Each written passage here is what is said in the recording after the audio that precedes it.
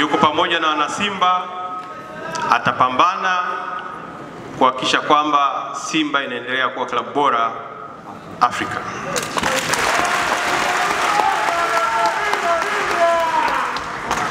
Simba oye! Simba likubali hili?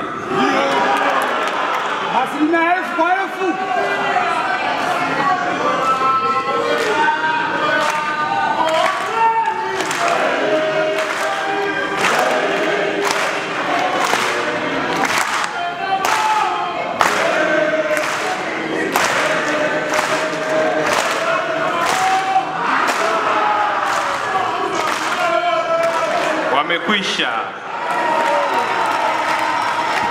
wamekwisha.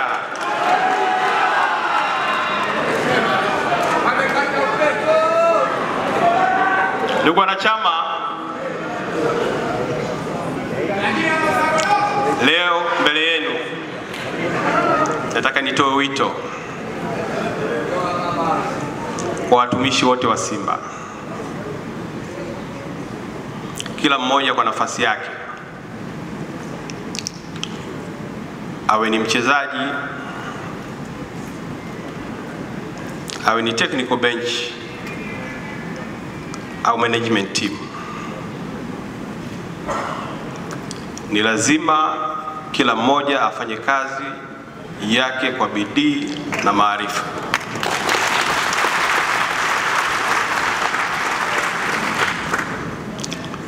Ili kuhakikisha klabu yetu inapata mafanikio. Ndani ya Simba hakuna mkubwa zaidi ya Simba yenyewe. Ndani ya uongozi wangu mimi hatatokea mtu kuipanda Simba kichwani.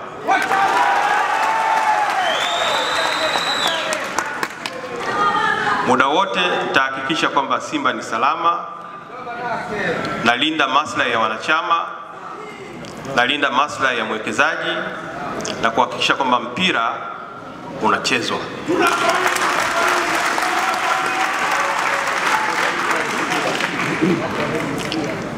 Naomba nyinyi wanachama mtunge mkono kwenye hili. Pale tunapofanya maamuzi magumu kwa niaba yenu, tuelewe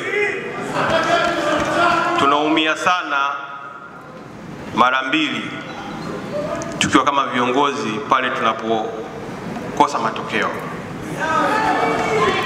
Hatuwezi kukaa na mtu anayetusaliti.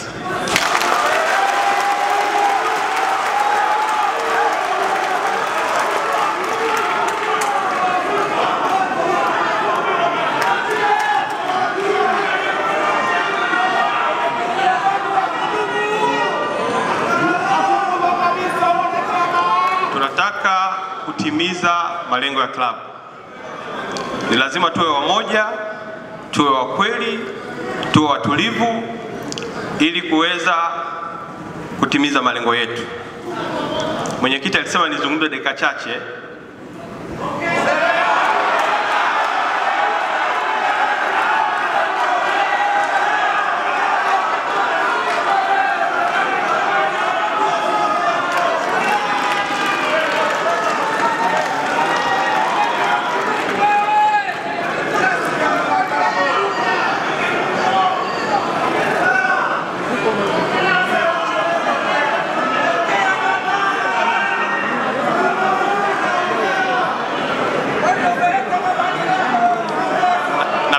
Nichukue fursa hii,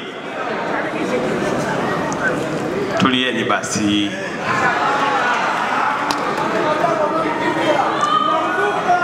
Kuishukuru sana serikali kwa, kwa maana ya Wizara ya Michezo, kwa maana ya waziri mwenye dhamana ya michezo, TFF, ndugu Karia na ndugu Kidau bodi ya ligi mzee wetu Steven Mguto na CEO Almas Kasongo kwa ushirikiano wao mkubwa katika kuongoza mpira wetu. Tunaamini watatenda haki.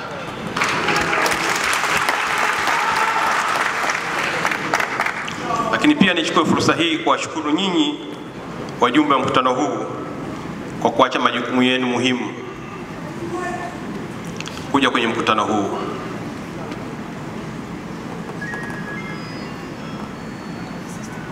Na hata wale wanaotuangalia kwenye kupitia kwenye vyombo vya habari pia nao tunawashukuru kwa kukaa na kututazama.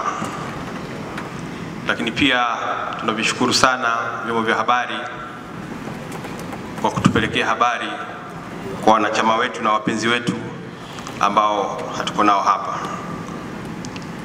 Vyombo vya ulinzi na usalama pia tunavishukuru sana, tuko salama mpaka sasa, hatuna tukio, na huu ndio uungwana wa klabu ya Simba, ndio ukomavu